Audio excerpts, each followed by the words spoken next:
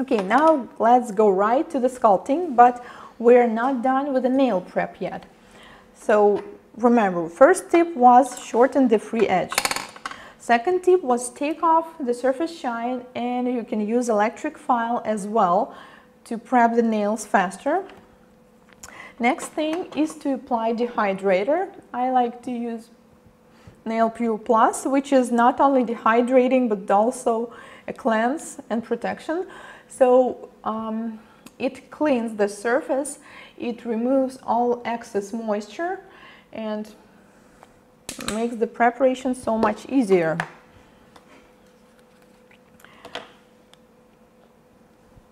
So you can use a nail wipe. This is really important to use the ones that are lint free because you don't want to end, end up with all this white fur on the nails.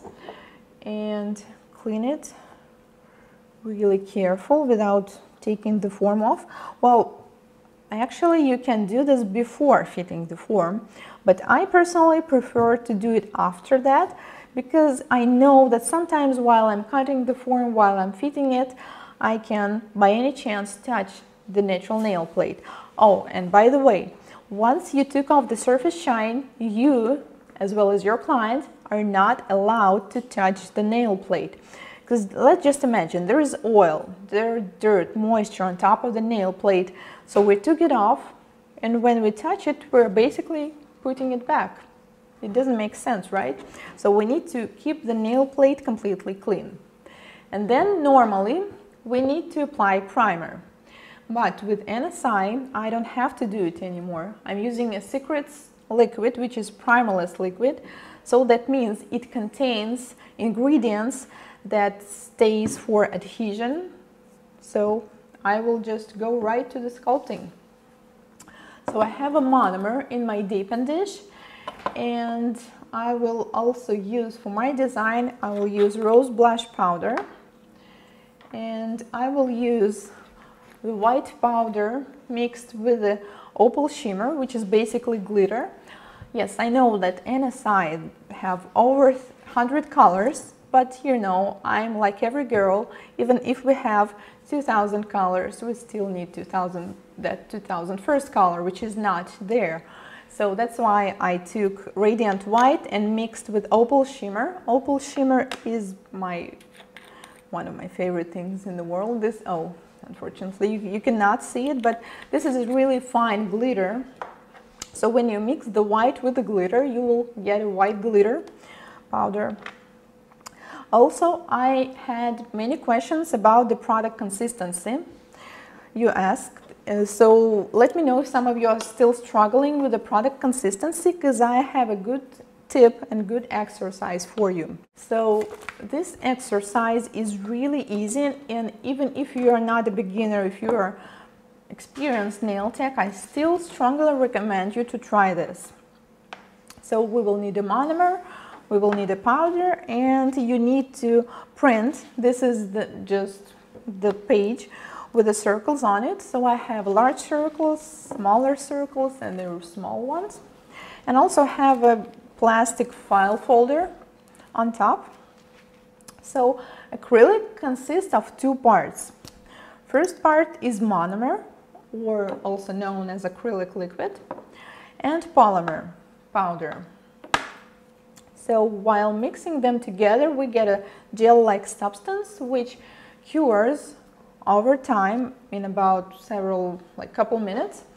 And after that it hardens and we get acrylic nail. So now let's try our exercise. So first I will pour the brush into the dappen dish with the monomer completely.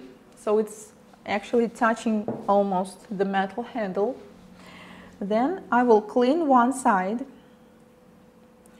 and place it into the powder with the other side. And now we have a bead. Try to get the sphere bead, not flat. It's not supposed to look like a mess. In the best thing is when it looks like a sphere. Okay, and now our goal here is so this acrylic part will completely go into these lines. So if by any chance you will take not enough monomer. You will, for example, clean it too much. Then put the other side into the powder and you see now it's we still have some white parts that are not saturated with the monomer and when I will put it here it will not go as the sphere you see it's, it's some kind of messy stuff so this means we took not enough monomer and too much of the powder. And the opposite is when you put the brush into the monomer clean it just a little bit put it into the powder and you see it's actually flowing. So that means you took too much monomer. This is the wet consistency which is wrong. So wet consistency is wrong dry consistency is even worse because you just won't be able to work with it the proper consistency me means proper ratio of acrylic of powder and monomer so I recommend you to practice this exercise from time to time so you can get a better sense of how acrylic works. And by the way, sometimes I've seen my students cheating. So they were like taking the monomer bead and then put it in the powder, put it right here, and then they were helping themselves with the brush, like, you know, tapping from the other sides. It's pretty easy when you're working on the file folder, not on the nails. Yes, it's easy but it doesn't make sense. The goal here to pick the bead from the beginning that will fit into this lines perfectly. So do not cheat on yourself, okay? Um, and then you will do the same with the smaller circles. So for the smaller size, you will need to do the same, but with less amount of monomer. Less amount of monomer will take a fewer amount of the powder. So this is how it works. I hope that this exercise will help you with your product consistency struggle. Now let's practice acrylic sculpting on the nails. Okay, uh, so I'm using the rose blush and I'm using also the powder that I mixed and monomer of course. Now let's start with the free edge. Depending on the length that your client wants to make, you will choose the size of the bead. So the longer nails you want to make, the larger bead you will need. So we decided to make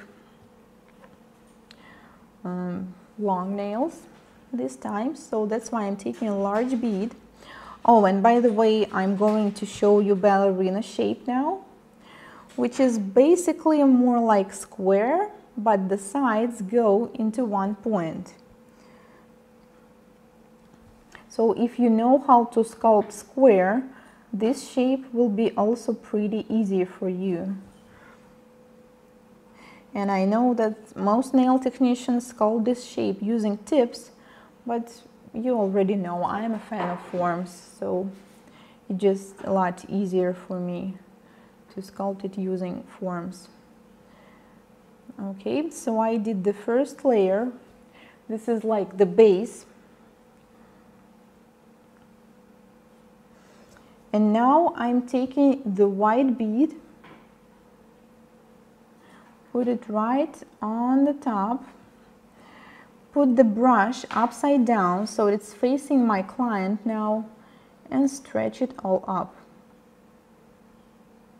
do not stretch it too much so it will touch the cuticle, only like till the center. And then with the whole body of my brush, I'm making the surface even.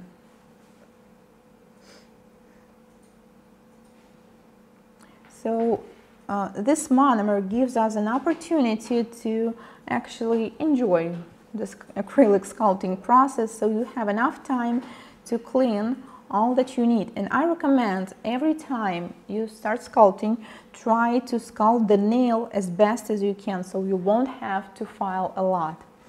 Now I continue sculpting. I'm taking the white with the glitter put it on the stress area and stretch it down a little bit. And stretch it up.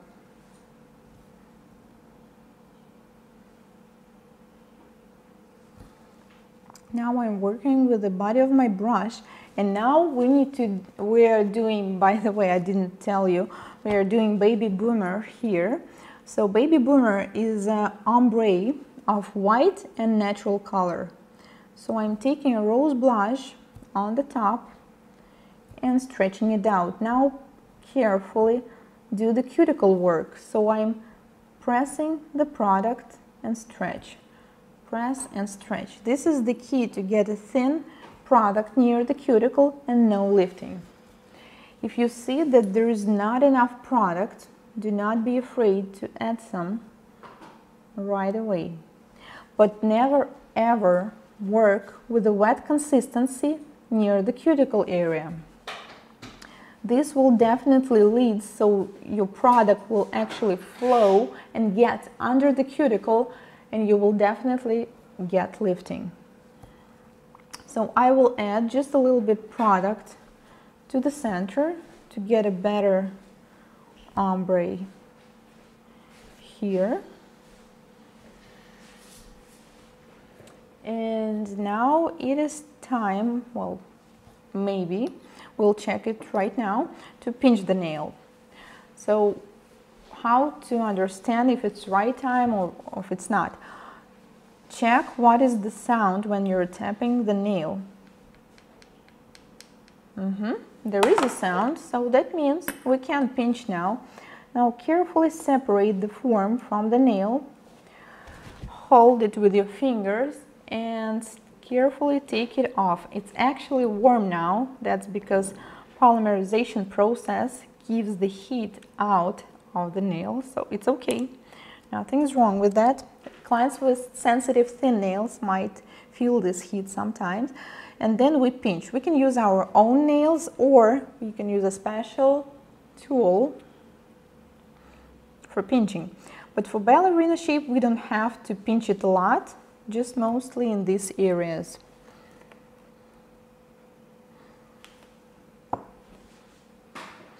Now we need to hold it for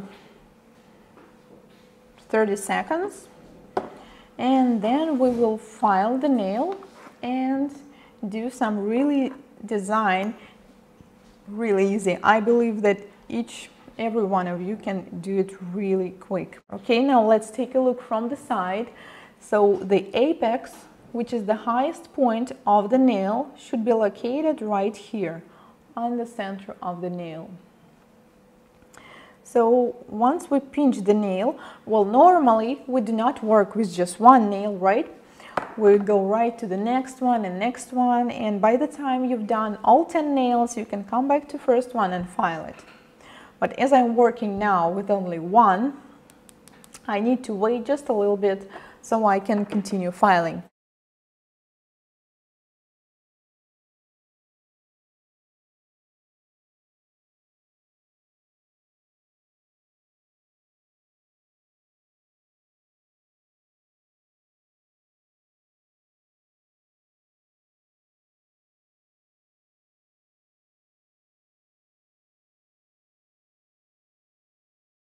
Okay, now let's go right to the sculpting, but we're not done with the nail prep yet.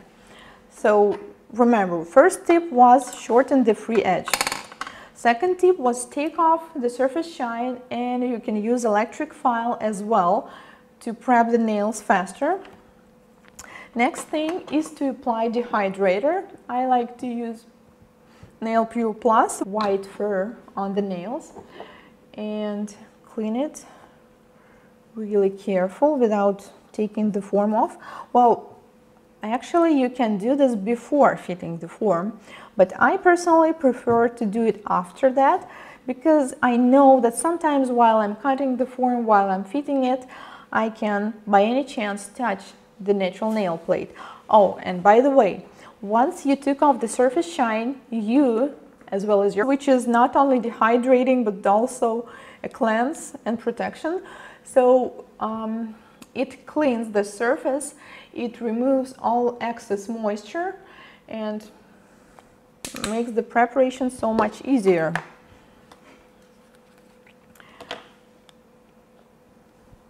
So you can use a nail wipe. This is really important to use the ones that are lint free because you don't want to end, in, end up with all this. So that means it contains ingredients that stays for adhesion. So I will just go right to the sculpting. So I have a monomer in my dappen dish and I will also use for my design, I will use rose blush powder and I will use the white powder mixed with the opal shimmer, which is basically glitter. Our clients are not allowed to touch the nail plate because let's just imagine there is oil, there dirt, moisture on top of the nail plate. So we took it off and when we touch it, we're basically putting it back. It doesn't make sense, right? So we need to keep the nail plate completely clean. And then normally we need to apply primer. But with NSI, I don't have to do it anymore. I'm using a Secrets liquid, which is primerless liquid.